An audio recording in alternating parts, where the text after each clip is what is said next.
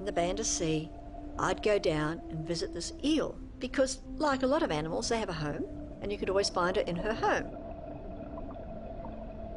She never ever was friendly. I offered a fish, she wasn't friendly. And this is year to year to year, you know.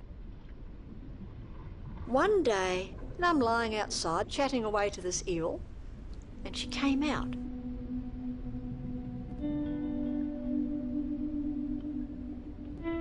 She didn't just come out. She swam around me, she swam between my legs, she nuzzled my face, and I thought, this is amazing.